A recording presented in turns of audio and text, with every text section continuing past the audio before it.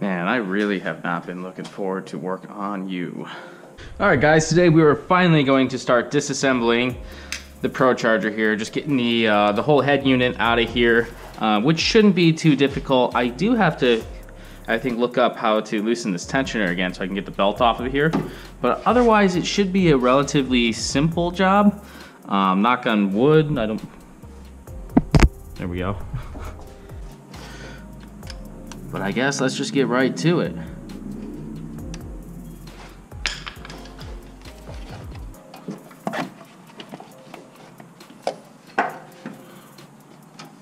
Oh yeah, look at that. That came off way easier than I thought it would actually.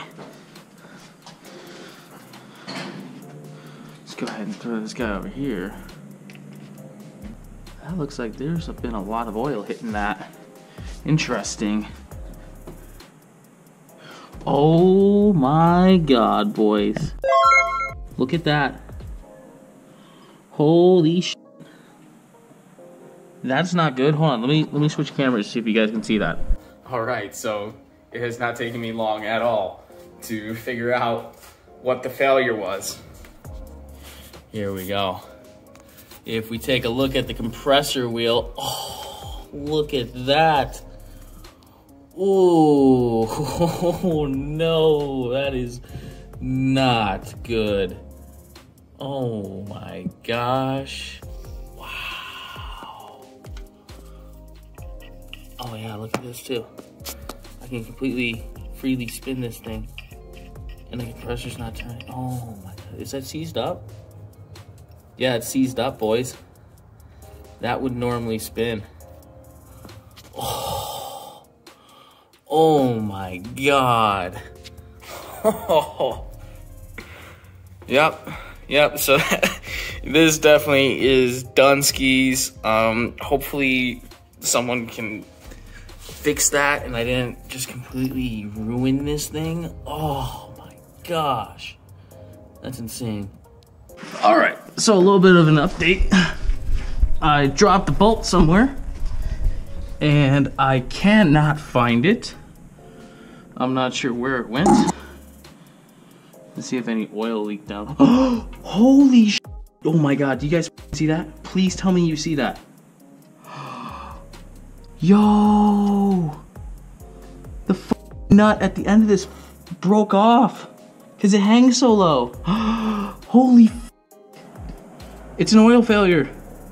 All the oil leaked out of it on the highway. I must have hit something real low. Holy That's why I failed. Right there. 100%.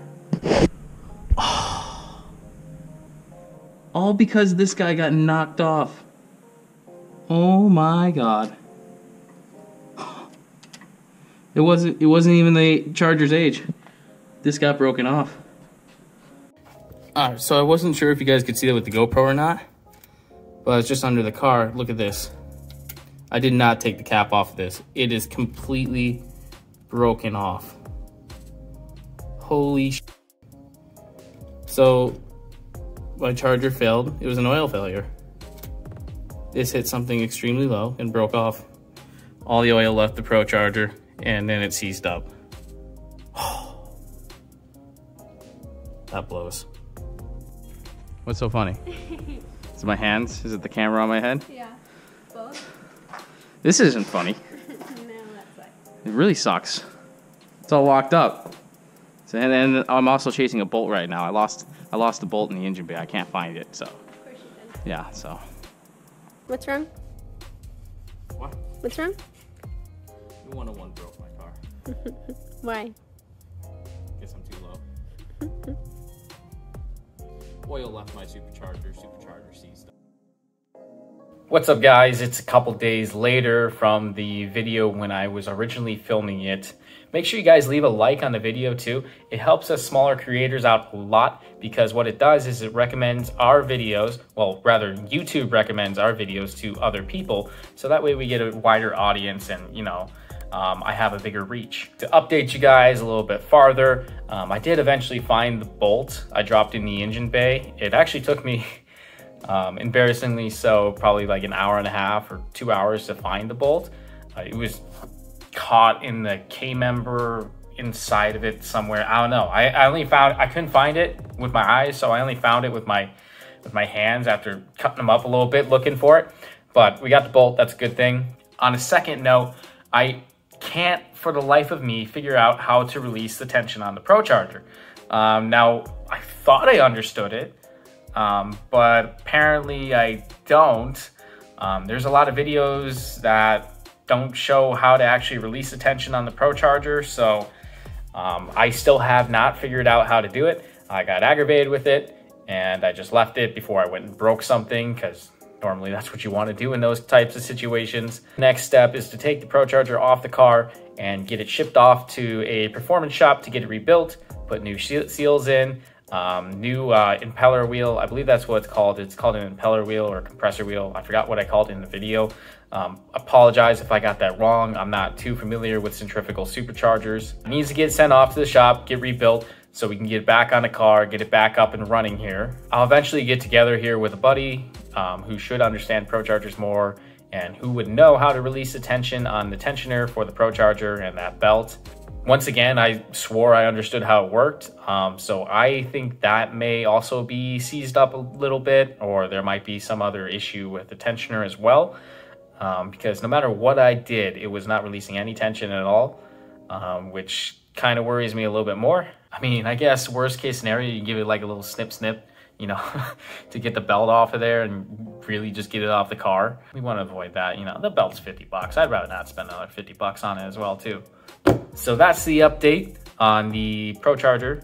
If you guys have made it this far in the video, thank you very much for watching. I seem to have some of the worst luck of really any automotive YouTuber, um, you know, besides a set few. Hopefully my luck in the future changes.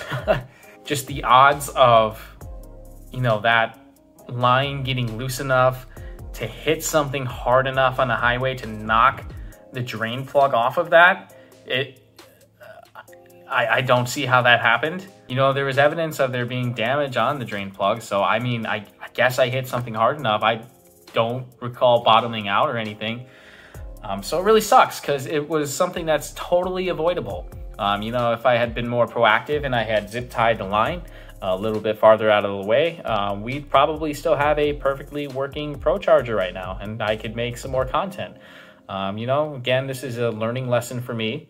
Um, I guess I'll just have to take it that way. Sucks to take it that way because it's going to cost me several thousand dollars. So we'll end the video right there. Um, I don't know how soon I'm going to have more Mustang content out just because of everything going on. Um, I probably will still have more content out pretty soon because I still have to get the rest of the blower off the car. Um, so you guys can look forward to some of that. Um, but I, I will potentially be doing more reviews of cars as well too. I noticed they don't tend to do as well as my Mustang videos, which I get. You guys are here for the uh, the Mustang and stuff. Um, you know, that's more just for new audiences uh, to grow my channel as well. Um, same with the shorter videos.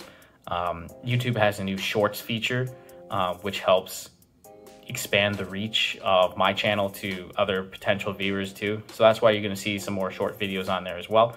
Uh, make sure to leave a like on those too. But anyways, I wanna thank you guys for watching.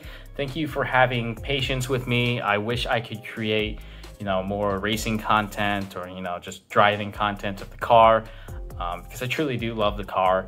Um, but I, I, don't know if I've got a lemon. I don't know if it's just bad luck.